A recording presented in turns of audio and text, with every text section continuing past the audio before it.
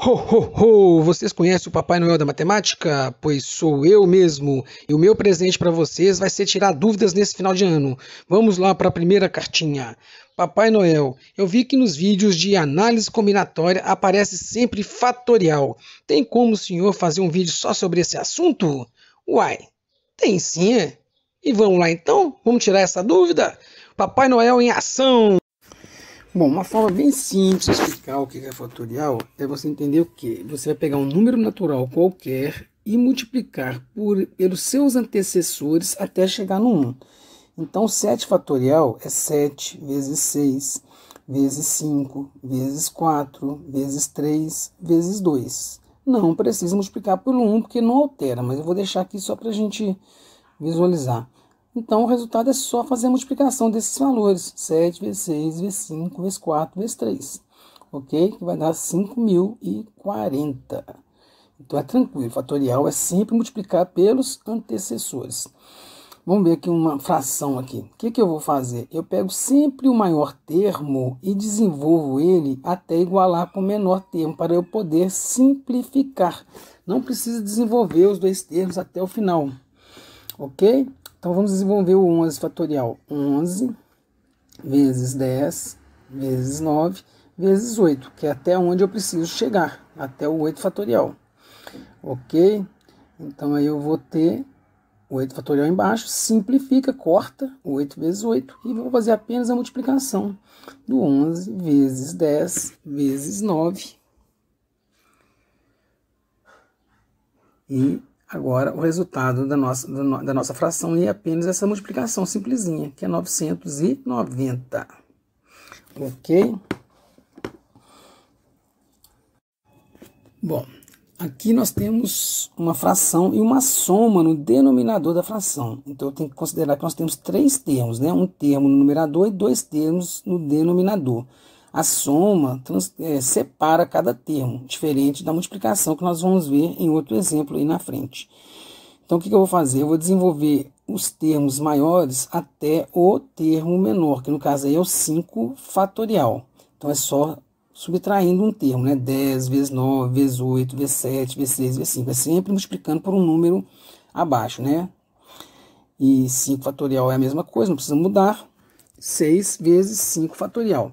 Então agora eu tenho 5 fatorial nos três termos, e aí eu já posso simplificar. Quando tem soma na fração, eu só posso simplificar se todos os termos puderem ser simplificados. Eu não posso simplificar só dois termos, ok? Então eu simplifiquei 5 fatorial nos três termos. Em cima eu vou ter o 10 vezes 9 vezes 8 vezes 7 vezes 6. Lembrando sempre que é multiplicação de um termo pelo seu antecessor, ou seja, o termo menos 1. Então, é 10 vezes 9 vezes 8 vezes 7 vezes 6. Ok? O 5 fatorial, simplificando 5 por 5, é 1 mesmo. Não pode esquecer isso, que é um erro muito comum as pessoas apenas cortarem e não colocarem esse 1 aí. Mais 6 fatorial. Aqui, gente, Lembrando que eu tenho essa soma no numerador, no denominador, eu posso somar aí 1 mais 6, 7 e simplificar com 7 do termo de cima aí, ok? Ou eu posso multiplicar primeiro e dividir depois. Isso aí é relativo, né? Vai dar a mesma resposta. Eu vou optar aqui por multiplicar os termos de cima, vai dar 30.240 e dividir pela soma aí 1 mais 6, 7. Ok? 30.240 dividido por 7 é a nossa resposta final, que vai dar 4.320, ok? Bom, agora nós temos uma multiplicação 15 vezes 3, 15 fatorial vezes 3 fatorial sobre 14 fatorial vezes 12 fatorial. O que, que eu vou fazer? Agora é diferente da soma. Eu vou desenvolver é, individualmente um termo de cima para igualar um termo de baixo. O mais próximo, né? O 15 está mais próximo do 14, então eu só vou desenvolver até chegar no 14. E o 13 está mais próximo do 12, então vou desenvolver o 13 até chegar no 12, né? Sempre um abaixo. Embaixo eu vou apenas repetir, então vai ser 14 fatorial e 12 fatorial. Posso deixar esse sinal de multiplicação ou não. 12 corta 12, 14 corta 14. Fácil demais esse, né? É só multiplicar agora o 15 vezes 13. Teremos nossa resposta final, ok? Então, no caso, 15 vezes 13, 195. Bom, percebam que a letra D e a letra E eu deixei os mesmos termos, só que na letra E eu tenho uma soma, né? tanto no numerador quanto no numerador. Vocês vão ver que isso dá muito mais trabalho, é bem diferente, né? Então, nesse caso, eu tenho que igualar todos os termos ao menor deles, que no caso é o 12 fatorial. Então, aí eu vou ter 15 vezes 14 vezes 13 vezes 12, mais 13 vezes 12 fatorial, ok? Aí eu estou vendo que a multiplicação em cima, né? Agora tenho uma soma, não é a mesma coisa. São dois termos. Na multiplicação eu considero que como se fosse um termo só. Na soma, cada vez que aparecer o sinal de mais, é um termo a mais que está sendo acrescentado. Então eu vou ter 14 vezes 13 vezes 12, mais o 12 fatorial, que é o menor deles, não preciso desenvolver, óbvio, né? Agora eu tenho o 12 fatorial em todos os termos, todos os quatro termos. Só simplificar, ok? Então vai ficar 15 vezes 14 vezes 13, que é o primeiro termo, mais 13, né? Fatorial agora desapareceu, sobre 14 vezes 13, mais, não, não se esqueça que 12 fatorial dividido por 12 fatorial é igual a 1. Então, não pode, esse 1 aí tem que aparecer. Seria um erro gravíssimo se ele não aparecesse. Bom, agora é só álgebra, né? Vamos fazer a conta. 15 vezes 14 vezes 13, 2.730, mais 13, 2.743, sobre 14 vezes 13, não se esqueça que a multiplicação tem que ser feita antes de somar, né? Eu vou ter 182 mais 1, vai dar 183. E essa nossa fração é o resultado final ok? Bom, para desenvolver qualquer termo fatorial, eu uso a mesma regra da parte numérica. Eu estou sempre subtraindo 1 para encontrar o termo seguinte. Então é 7 menos 1, 6, menos 1, 5 e assim sucessivamente. Quando eu vou desenvolver uma letra, né, uma variável, eu vou usar a mesma regra.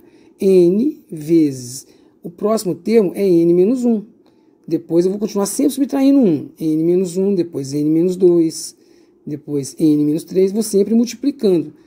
E assim sucessivamente. Né? Eu vou desenvolver até o termo que eu precisar para resolver uma equação ou uma expressão numérica. Ok? Isso não tem limite, isso é infinito. Ok? O importante é sempre lembrar que a regra é diminuir sempre um. Ok? Por exemplo, na letra B, n mais 2. O próximo é subtraindo 1. Né? n mais 2 menos 1 Primeiro vamos colocar aqui n mais 2 vezes n mais 2 menos 1, n menos 1. Né? Só vou subtrair a parte numérica. O próximo termo, n mais 1 menos 1, n. Ok? Eu só estou subtraindo 1. Depois, n menos 1. E assim sucessivamente até o termo que eu precisar. Ok? n menos 1, n menos 2, n menos 3 e assim sucessivamente. Ok? É, não tem limite. Bom, para simplificar uma fração com fatorial, eu vou usar a mesma regra que eu usei para a parte numérica. Eu desenvolvo maior até chegar no menor. Eu abro, né? A gente fala desenvolver ou abrir o fatorial. n, o anterior de n é n menos 1. Já encontrei o tempo que eu precisava para simplificar. Então aqui eu já posso parar n, fator, n menos 1 fatorial sobre n menos 1 fatorial. Simplifica fatorial com fatorial, e sobrou n. Esse é o resultado dessa simplificação. Bom, para a gente andar um pouquinho mais rápido e o vídeo não ficar muito longo, eu já deixei pronto aí o último exercício. Só vamos é, é, falar sobre ele. Eu tenho n mais 4, n mais 2 e n mais 3 fatorial. Vou desenvolver todos até igualar ao menor, que é n mais 2. Então, em cima vai ficar n mais 4 vezes n mais 3 vezes n mais 2. O n mais 2 não precisa. E o n mais 3 vezes n mais 2 fatorial ok? Então, todos os três apareceu n mais 2 fatorial, é só cortar, simplificando, n mais 2 e n mais 2. Em cima ficou n mais 4 vezes n mais 3 fatorial. O n mais 2, como eu vou dividir pelo n mais 2 mesmo, então é 1, não pode esquecer isso, tá? mais o n mais 3 que sobrou depois que eu eliminei o n mais 2. Ok? Aí fica tranquilo para entender isso aí. Não coloquei parênteses, mas pode deixar o parênteses aí. Não coloquei porque eu vou somar o n e eu vou somar 1 mais 3, vai dar 4. Então vai ficar n mais 4. Aí eu vou poder simplificar com o termo de cima, o n mais 4. Cortou, cortou, sobrou o n mais 3, ok? Espero que tenha entendido. E aí, o vídeo de hoje tirou sua dúvida? Mas se ainda ficou alguma coisa pendente, é só postar nos comentários do vídeo, ok? E quem ainda não é inscrito, não se esqueça, inscreva no canal, acione o sininho aí para receber novas notificações e dê um like se você gostou do vídeo de hoje, ok? Um grande abraço e até o próximo!